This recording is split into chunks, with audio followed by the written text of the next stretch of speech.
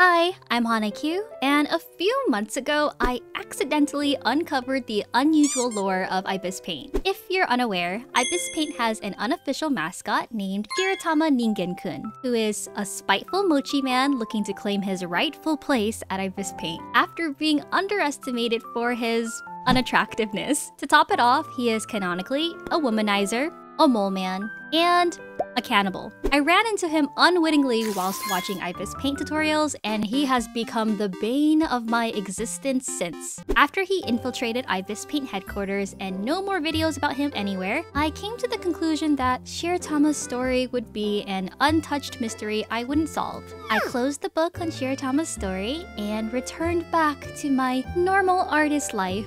But ever since then, there's been a Shiratama shaped hole in my heart. Whenever I would open up Ibis Paint, I would wonder, what would Shiratama do if he were in this position? Now, there was no way of knowing how his story could unfold. But I realized that, hey, I'm an artist, and the magical thing about being an artist is that I could just come up with my own original unhinged story right here on Ibis Paint. With a whole new world and journey, I could create a world that Shiratama could crash his head right through. Luckily, I already had an original story that Shiratama could venture into. And for some added fun, let's make an illustration to accompany the story too. So let's get started. The following is an abridged telling of my solar system story and is meant to be taken as a just for fun, non-serious experience. Imagine a universe where all the planets of our solar system are ruled by powerful beings called celestials. Their power and size corresponds with their planet's sizes, so you can look up at them and be like, Mommy? Sorry. Celestials and humans live amongst each other, and each planet has their own way of ruling and living with humans. Our story starts on the planet of Saturn, which is ruled by two giant celestial sisters. Queen Lithia, who rules over the land and loves humans in a they're like cute little pets kind of way, and her neglected sister Cilia, who rules over the skies, thunder, and tornadoes, but hates humans and thinks they're stinky. And she kind of accidentally eats them from time to time. Lithia gets mad at this and is like, um, dude, can you not eat my humans? Lithia kicks her out to the wild inner core of Saturn that's full of hurricanes and storms. Cilia is really, really sad slash mad about it and throws a rampage of storms and thunder until she comes across a random capsule. Inside is a tiny alien girl named Citrina whose hair is made of crystals. It's like, ooh, shiny, and pries her out. She decides she wants to present her to hmm. Lithia as an apology for her oopsie human eating scenario. Citrina has no recollection of her memories and how she got there except for her name. But luckily, Lithia likes the gift. Lithia allows Cilia back into her court just as long as she promises not to accidentally eat any more humans, and she makes feral sounds in agreement. Now, the reason why Lithia accepts Citrina is because she knows about Citrina's past. Lithia doesn't tell her, of course, because she has her own plans. Instead, she introduces Citrina to Enceladus, a celestial moon aristocrat of her Saturn court. Enceladus has a special moon eye thing that can foresee slightly into the future, but for some reason, she can't see into Citrina's future. So instead, Lithia instructs Enceladus to keep an eye on Citrina in case anything changes. And in the meantime, Enceladus teaches her etiquette and where and how the heck this world works. And so begins our two girlies' friendship. Aw, they were such good roommates.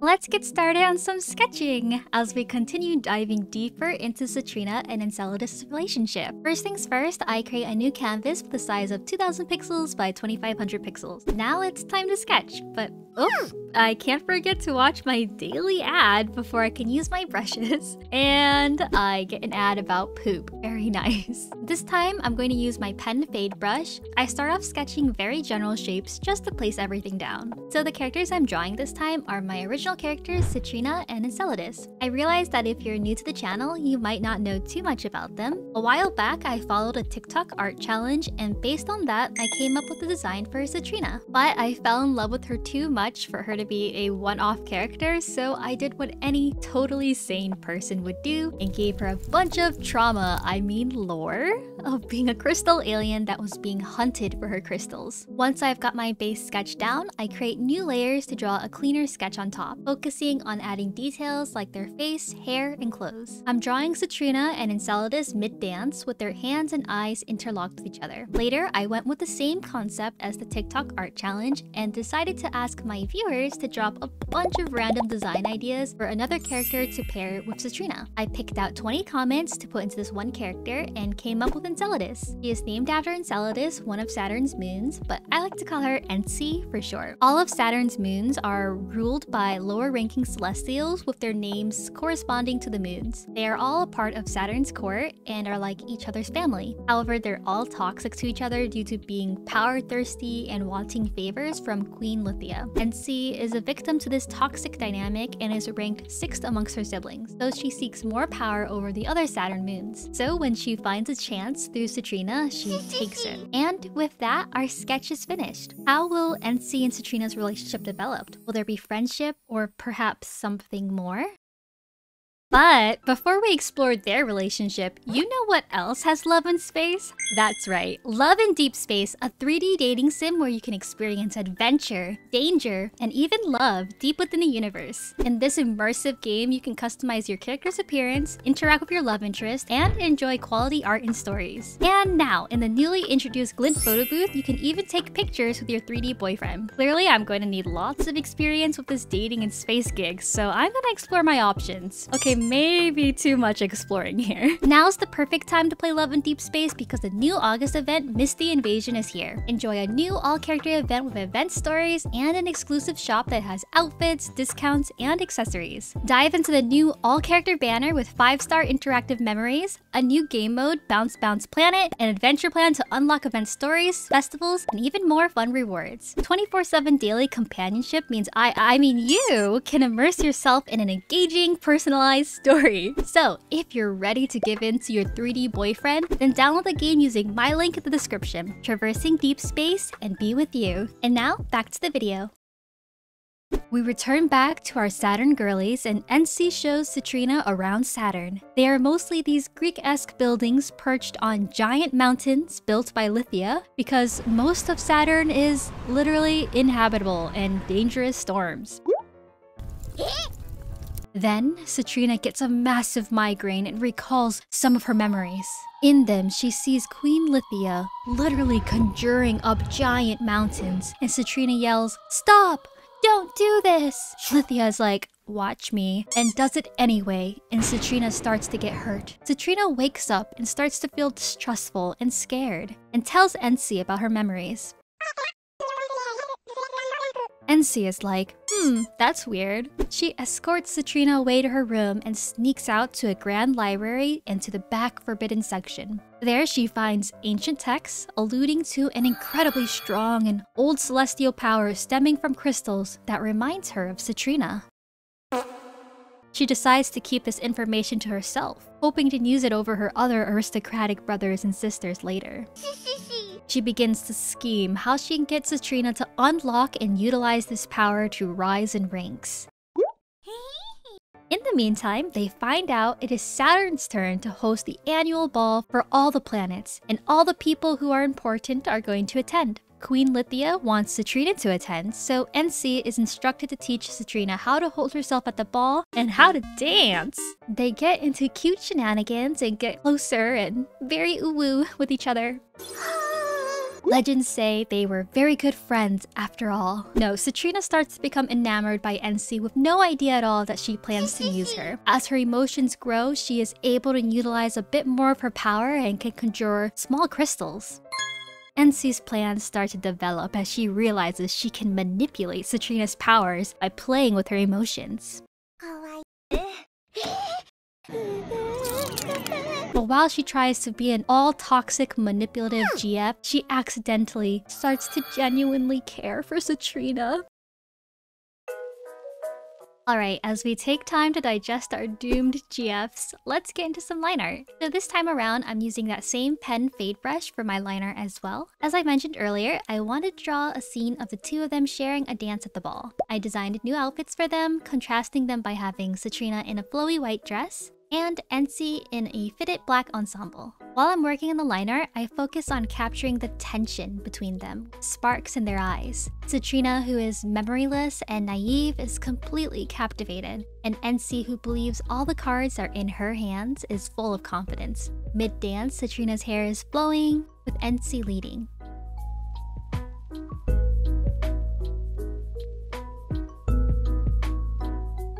Ency and Citrina become close. Through their dance, Ency starts to doubt her plans of using Citrina to her advantage and debates telling her the truth of everything. But she fears Citrina will mistrust her and ruin what they have. Instead, Ency locks away her feelings to continue her plans, to keep Citrina at arm's reach but never allowing herself to get any closer to her. I like to line the drawing in layers so I can easily change things if needed either by redrawing or using Liquify.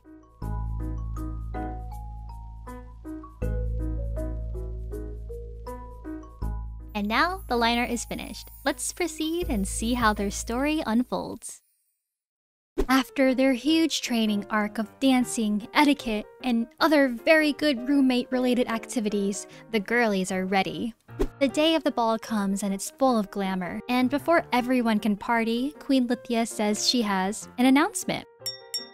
She introduces Citrina and is like, Our celestial mother has returned! Citrina is confused, but everyone stares at her and the crystals in her hair in awe and whisper amongst each other. Lithia closes in and whispers to Citrina, This time, you will be my puppet on display. Citrina has no idea what her plans are, but she is ushered into the ballroom. The dance begins and she starts her dance with Ency. Her uneasiness melts away in the arms of the one person she trusts and has been taking care of her. But she has no idea Ency is feeling uneasy with plans to use her and her growing power. They dance more and Ency spins her around, but she starts to spin off in the wrong direction. But mid-spin, she is caught in the arms of a mysterious man with a mask. He begins to dance with her and Citrina's like, Who are you? He's like, I'm actually the Prince of Uranus. He then takes off his mask and, oh my god, it's Shiratama Ningen, the Prince of Uranus. He gives her a wink and tells her to keep it a secret. They dance more and he closes in and tells her that she is not safe here and she must escape. Shiratama tells her that the Saturn court is power hungry and soon Ency will betray her. She's like, what? Why would I trust you? He gives her a special gem and tells her when the time comes, she'll need this. And he disappears. Eh?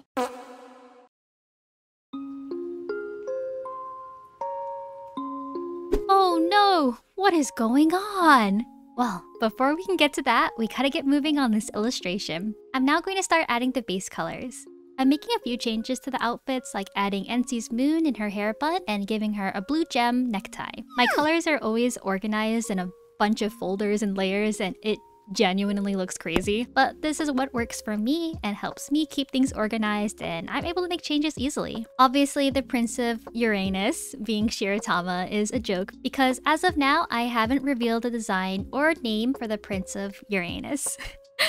I can't tell you guys too much about him to avoid spoilers for the next episode in the solar system design series, but as of currently, his father is the current king of Uranus, and he doesn't agree with how his father rules. So in rebellion, he has run away to build his own army and overtake his father's crown. One new technique I'm gonna do this time around is brushing across some gradients to my base colors. Doing this will add easy dimension to the colors. Since there will be intense lighting coming from the top, the light will likely bounce from the floor and hit them from the bottom. I'm having the gradients be darker near the top and lighter towards the bottom to indicate this. Later, we'll add the hard rim light to the top. Now, let's see how our story will conclude.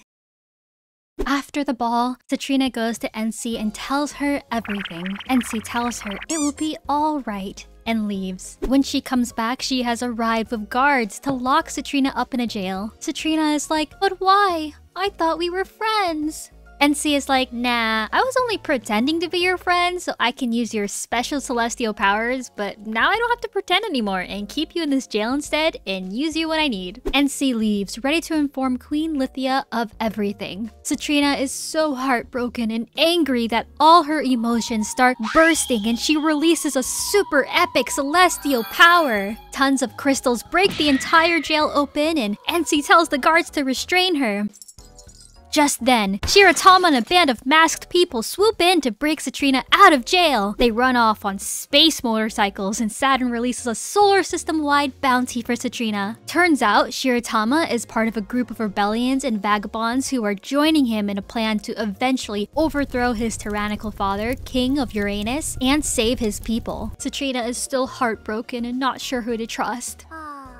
She realizes that she is too weak on her own right now, and that she must get stronger and more knowledgeable to stand on her own two feet. She gains a motive to figure out the truth of who she is and what her memories mean. In the meantime, the other group members of Shiratama's gang introduce themselves and decide to help her train. They learn that her conjuring powers can make weapons like swords and bows, so she begins training on different weapons. Thus begins her journey of traveling through the solar system, escaping her pursuers, fighting people who want to harvest her, discovering remnants of her past, and getting involved in incoming war. Join us next time to see how Shiratama takes down his father, King of Uranus. And now, my fellow space travelers, it is time to start shading our piece. I always like to start with coloring the skin because it's my comfort zone, because every person I've drawn usually has skin, so it's consistent. I use a combination of lasso selecting an area and airbrushing in the shading to create that hard to soft coloring on the skin. If more blending is needed, I'll blur it out more. In this first round of shading, I focus on shading the characters in their local colors with emphasis on texture of clothing, hair, and other materials. Later, I'll add the lighting.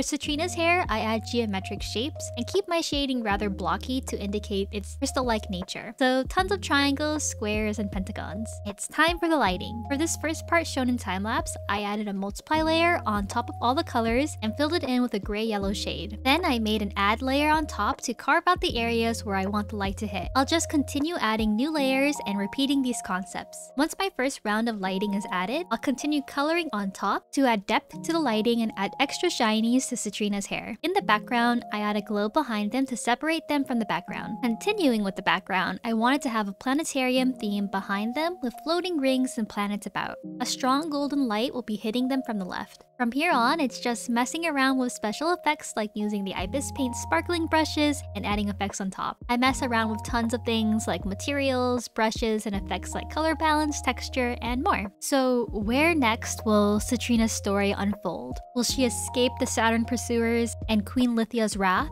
How will she fare with this new group of rebels? Can she become strong enough before the incoming war on Uranus? Can she trust the Prince of Uranus, or will she risk being betrayed again? What will she uncover about the truth of her past? What happens if she doesn't like what she learns? Will she be able to reunite with Ency? And if she does, what will she say? Will they fight or make up?